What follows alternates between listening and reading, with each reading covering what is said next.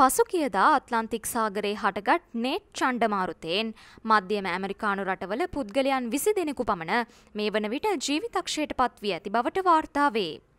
චණ්ඩමාරුතය හේතුවෙන් මධ්‍යම ඇමරිකාව තුළ හදිසි තත්ත්වයක් ප්‍රකාශයට පත් කර ඇති අතර ඊයේ දිනය තුළ කොස්ටරිකාවේ සියලුම දුම්රිය ගමන්වාර සහ ගුවන් ගමන්වාර විශාල ප්‍රමාණයක්ද අත්හිටුවා ඇත. සංචාරක ආකර්ෂණය දිනාගත් ජාතික උද්‍යාන විශාල ප්‍රමාණයක්ද ආරක්ෂක හේතුන් මත වසා දමා ඇති බව විදෙස් වාර්තාවල සඳහන්.